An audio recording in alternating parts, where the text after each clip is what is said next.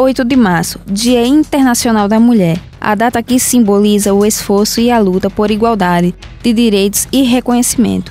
Portanto, a Secretaria da Mulher, liderada pela secretária Fabiola Paiva, desenvolveu um significativo projeto para enaltecer e despertar a motivação no enfrentamento dos problemas, dos preconceitos, da busca de espaço e, fundamentalmente, da condição de ser crítica, ativa e participativa na construção de um novo tempo, que represente um ganho na qualidade de vida, não especificamente para as mulheres, mas para o conjunto da sociedade, de forma respeitosa e harmoniosa e muitos outros parceiros. Chegamos a um total de 630 procedimentos, entre eles Conselho Tutelar, Postos de Saúde, Junta de Conciliação, CREAS, CRAS, Pronatec, NAGE, nosso parceiro forte e muitos outros. Representando a mulher araripinense, a mulher sertaneja que é forte, que não desiste. E a campanha desse ano da Secretaria da Mulher, ela tem como tema Mulheres Construindo Motivação, justamente por isso,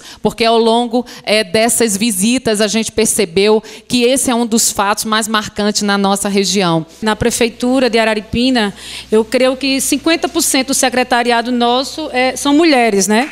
E isso mostra a valorização do prefeito com as mulheres.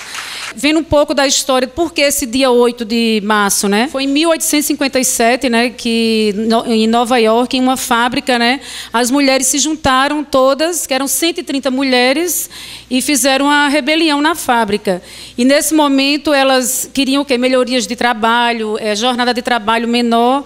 E o que foi que aconteceu com elas? Elas foram todas trancadas em uma sala e queimadas. Né? Isso que mostra a motivação para que a gente, né, Fabiola, possa cada vez mais está em busca de dias melhores para nós mulheres, né? E um depoimento de Cecília, né, Cecília, acho que é muito prudente para que a gente dê as mãos e possa cada uma se ajudar e fazer mais e melhor. E feliz Dia das Mulheres para vocês. Obrigada. Hoje eu estava olhando pela manhã, lendo um livro lá do Roberto Chiniachi, que é aquele livro que diz Amar cada vez mais. E ele diz o seguinte: Não pense que o mundo vai acabar os problemas hoje você não consegue acabar os problemas do mundo. Toda vez que você resolve um, vão vir outros. Isso é o natural do ser humano.